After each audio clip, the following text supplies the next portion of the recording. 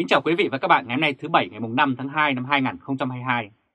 Kính mời các bạn xem bản tin Tết với thương phế binh Việt Nam Cộng Hòa và mong ước tuổi xế chiều.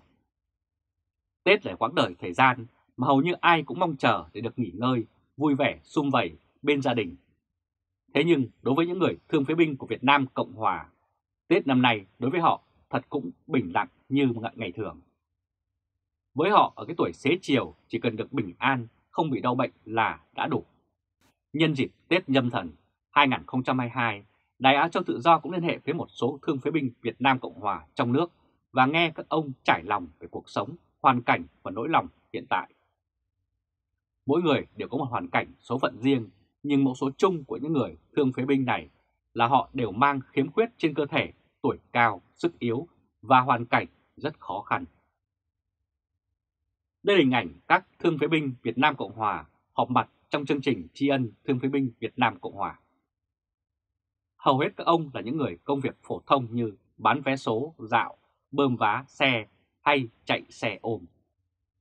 Trong năm qua, vào thời điểm dịch Covid-19 tăng mạnh, chính quyền cấm tất cả những công việc kiếm sống ở trên đường phố, khiến nhiều thương phế binh đã bị rơi vào hoàn cảnh khó khăn, chật vật hơn rất nhiều. Đón Tết đơn sơ Thương phế binh Nguyễn Công Lý, 68 tuổi ở Sài Gòn, hiện nay đi làm thuê. Nếu không có việc thì chạy xe ôm kiếm thêm. Còn vợ thì đi phụ việc nhà cho người ta. Mùa dịch vừa qua, hai người không có thu nhập mà phải nuôi thêm một đứa cháu 18 tuổi bị chậm phát triển so với các bạn cùng lứa, nên cuộc sống lại càng thêm thiếu thốn. Ông nói, nói chung cuộc sống nó cũng bấp bênh lắm, không chạy xe được mà cũng không đi làm được. Cháu nó lại nghỉ học nữa, thành ra chú chỉ toàn là đi xin thức ăn và lương thực của bên các ban từ thiện và mấy chùa để mình ăn, thôi chứ đâu có làm gì ra tiền mà ăn.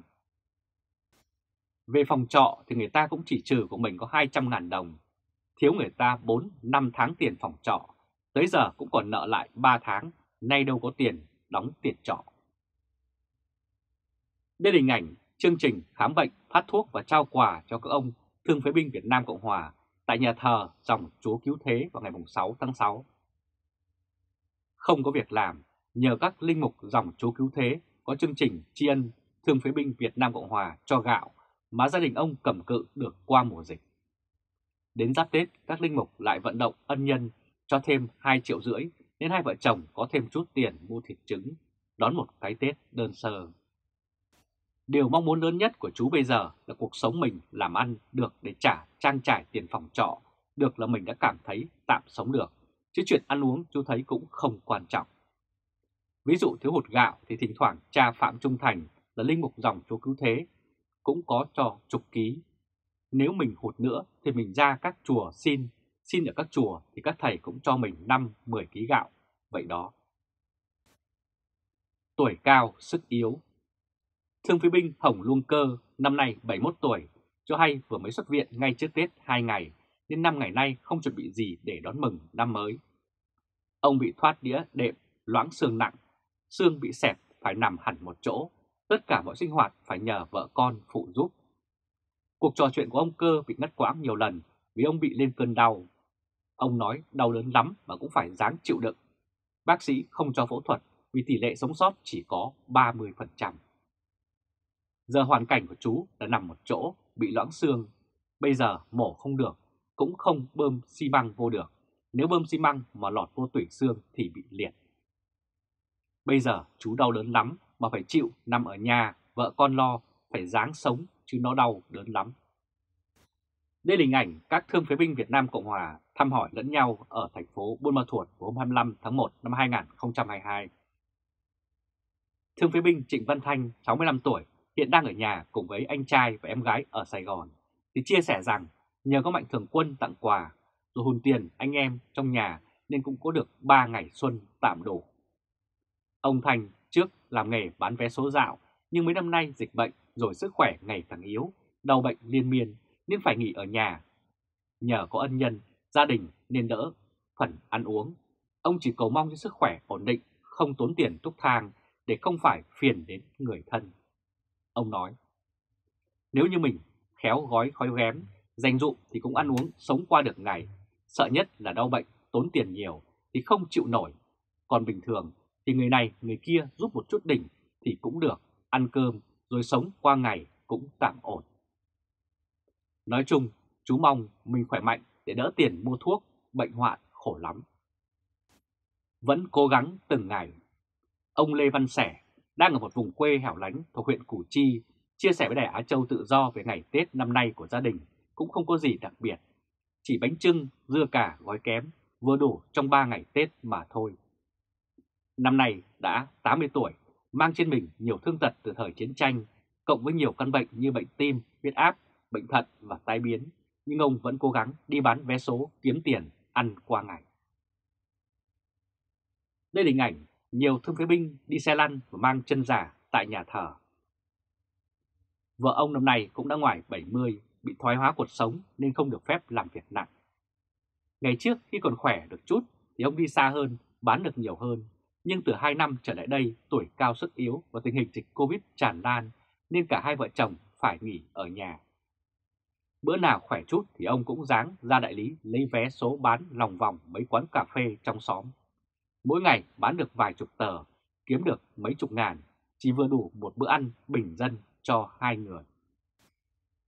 Cũng lầy lắt bán gần tròm xóm, chứ không đi đâu xa, khi nào khỏe thì đi, còn mệt bệnh thì ở nhà. Tròm xóm gần có mấy tiệm cà phê thì mình có đi tới đó bán, một bữa cũng không được nhiều, cũng vài chục vé chứ không nhiều. Trách nhiệm đã hết nhưng danh dự phải giữ. Các thương phế binh Việt Nam Cộng Hòa mà Đài Á Châu Tự Do có được dịp mô tả và trò chuyện trong bài viết này, họ đều cảm thấy rất hạnh phúc và trân trọng tình cảm của tất cả những người đã từng giúp đỡ, chia sẻ và nâng đỡ những anh em thương phế binh không may mắn còn ở lại Việt Nam sau cuộc chiến. Ông Lê Hoàng Minh, năm nay 72 tuổi, ở Gò Vấp kể cho đại đài tiếng nói FA về câu chuyện của bản thân. Trong một lần đi tiếp tế cho đơn vị hành quân vào năm 1972, ông đạp phải mìn làm cụt cả hai chân nên đầu gối, bể một con mắt và mất một bên xương quay hàm. Đây là hình ảnh thương phế binh Lê Hoàng Minh, 72 tuổi, ở Gò Vấp. Sau chiến tranh, ông không lập gia đình, làm công việc buôn bán lặt vặt ngoài đường, kiếm sống qua ngày. Sống chỉ có một mình, ông Minh rất vui khi có người đồng đội ở bên kia đại dương mà vẫn còn nhớ đến mình, chia sẻ, an ủi và giúp đỡ trong lúc ngặt nghèo. Nhưng cũng có đôi lần, người thương phế binh này nhận quà mà cảm thấy chạnh lòng. Ông nói, đối với một người lính Việt Nam Cộng Hòa, Tổ quốc, danh dự và trách nhiệm phải đặt lên trên hết. Có thể bây giờ trách nhiệm đã hết, nhưng danh dự là phải giữ. Có một số người muốn giúp cho anh em thương phế binh, nhưng họ lại muốn chúng tôi phải nghèo, phải mặc áo rách thì họ mới giúp. Điều đó đôi khi cũng hơi buồn. Nếu chia sẻ thì chúng tôi xin nhận, còn nếu như nói thương hại, ban phát thì chuyện đó lại khác. Đây là vấn đề danh dự của một con người, mà hơn nữa mình đã từng là một người lính, tổ quốc, danh dự và trách nhiệm là phải lên.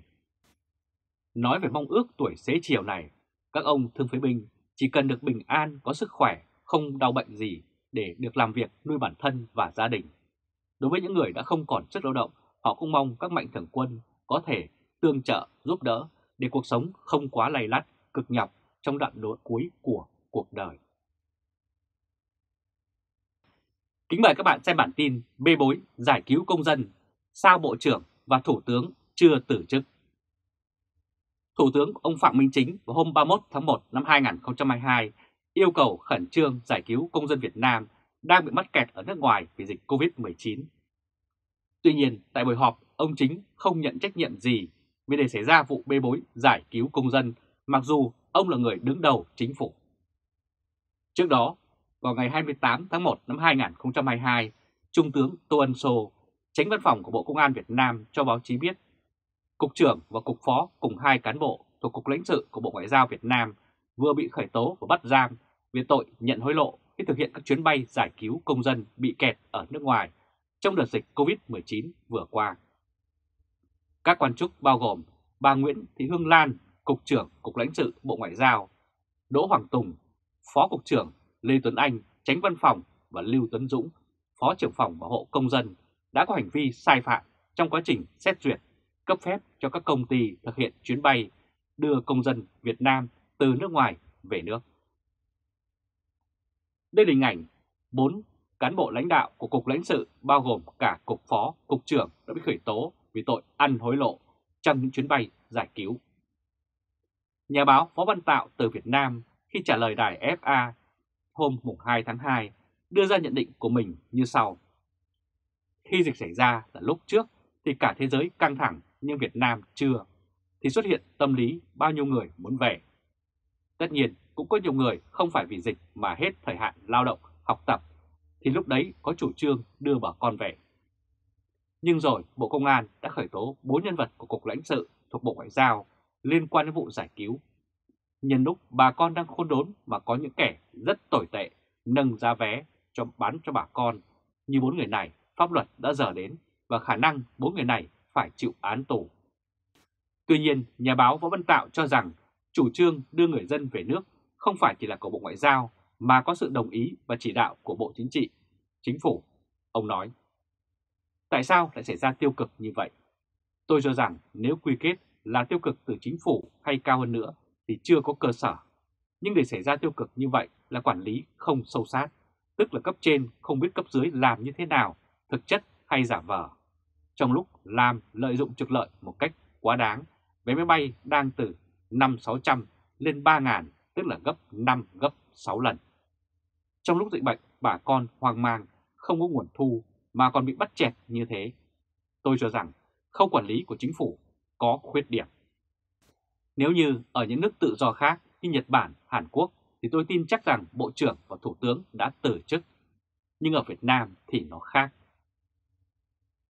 Đây là hình ảnh các chuyến bay giải cứu đã được dư luận viên tô vẽ với những câu khẩu hiệu như vì một cuộc chiến không một ai bị bỏ lại, rồi là một Việt Nam ngạo nghễ với Nam Châu, hay bay thẳng vào tâm dịch để đón đồng bào, chỉ có thể là Việt Nam.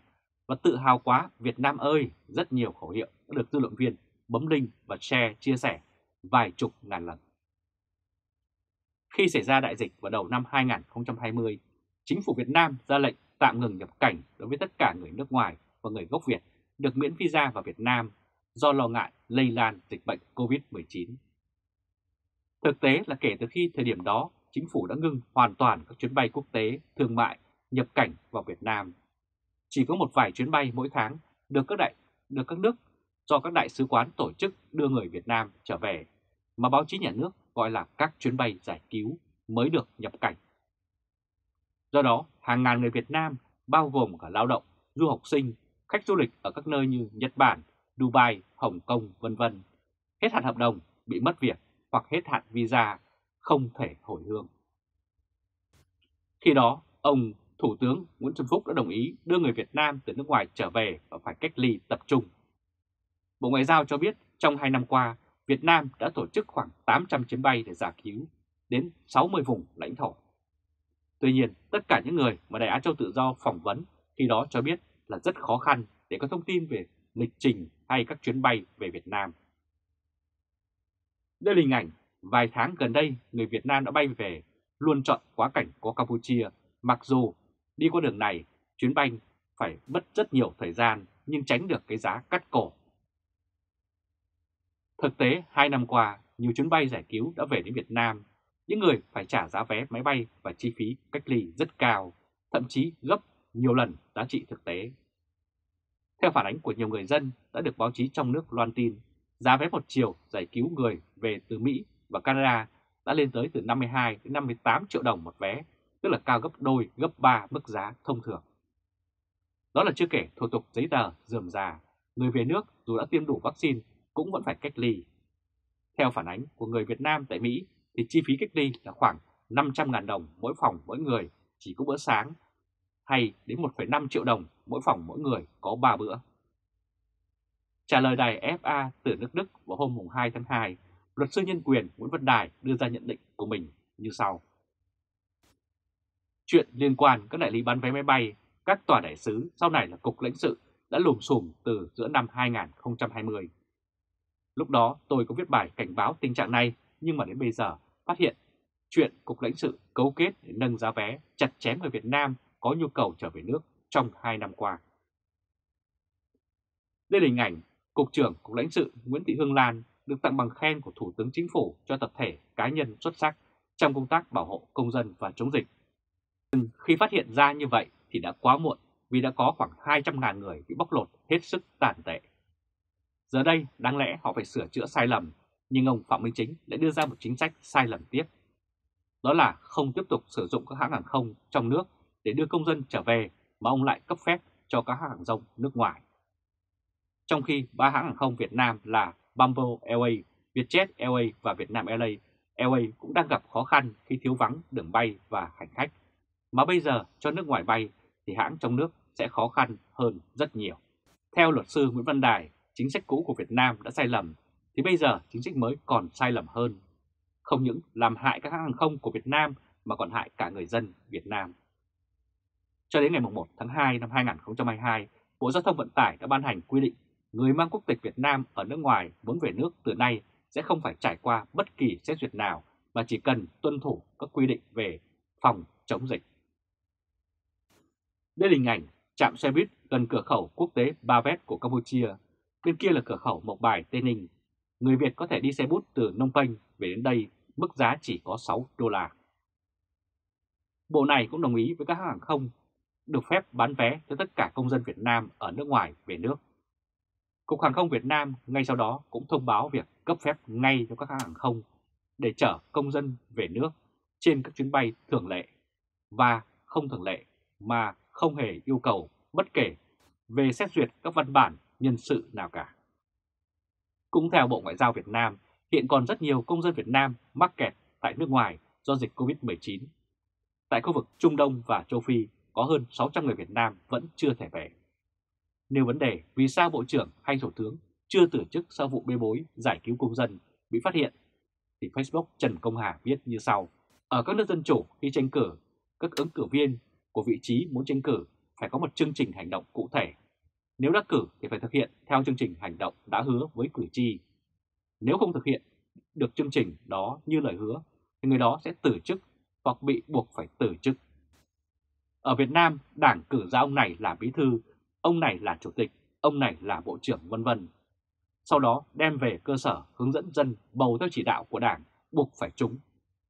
Khi đắc cử, việc đầu tiên là tạo ekip và vẫn chuẩn bị một nhiệm kỳ vơ vét để bù đắp lại tiền vốn đã đầu tư. Hai từ liêm sỉ không hề có trong bộ nhớ của Đảng Cộng sản. Đã không có liêm sỉ thì làm gì có văn hóa tử chức.